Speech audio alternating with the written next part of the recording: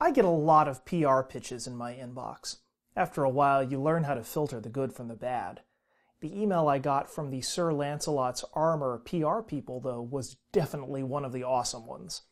This is the grandiosely named Holy Grail series screen protector from Sir Lancelot's Armor. According to the press release, it's made from tempered bulletproof glass and ranks number 9 on the Mohs hardness scale, just behind Diamond. We usually don't bother reviewing screen protectors at Ars Technica, but screen protectors made from bulletproof glass? Oh, you bet. I was expecting some kind of tank-like monstrosity to arrive in the mail, but what I got instead were two fancy boxes containing two very thin strips of iPhone-shaped glass, which, in sufficient quantity, I'm sure is bulletproof. But this? I have my doubts. But we'll get to that. First, though, you apply the Holy Grail screen protector to your phone just like any other screen protector.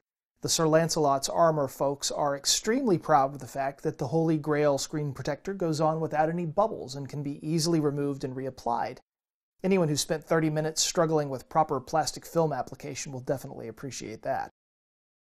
I don't have a spare iPhone 5 of any flavor to test with, unfortunately, but I do have a few old iPhone 3GSs which is why the screen protector clearly doesn't match up with the phone in this video. Even if it did match up though, the screen protector doesn't quite vanish. Weirdly, there's a subtle pattern of dots in the glass that doesn't quite show up on video, but is clear to the naked eye, especially in direct sunlight. Other than the dots though, on a properly sized device, it's essentially invisible. So how to test this screen protector that carries the name of Arthurian legend? Well, I figured I'd start small with some spare keys, and sure enough, no scratches. All right! Tempered bulletproof glass 1, household implements 0. How about a big ass screwdriver? No problem. The glass easily withstands a good bit of forceful pounding with my trusty flathead and its. Uh oh. Come on! We're only like two things in. I've got a whole other stack of stuff to test with. All right, just we're we're just we're gonna keep going. Just pretend it's fine. Everything's fine. Next up, the mighty claw hammer to test the Grail's mettle. First the blunt end and then the claw itself, but the screen remains broken. Oh. But can the Grail withstand the pure, piercing power of a Brad-filled staple gun? Wait, seriously? What the hell kind of bulletproof glass is this? Keys, screwdriver, hammer, and staple gun all have fallen before the... Alright, look, we might as well just bring out the drill. I had a whole thing planned with the drill, where we do the spinny thing and some dramatic narration, but, uh, you know, whatever.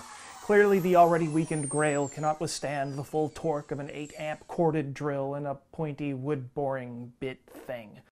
You know, I was saving this for the last resort after the hammer and stuff failed, like I was sure they would, and they didn't.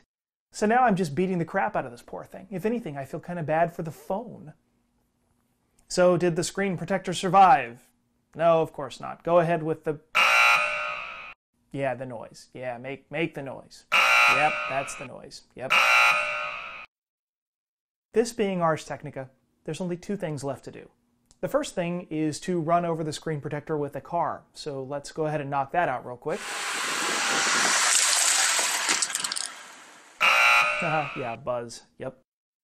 The next thing to do, though, is to get a fresh grail, a fresh phone, and take a trip to the gun range.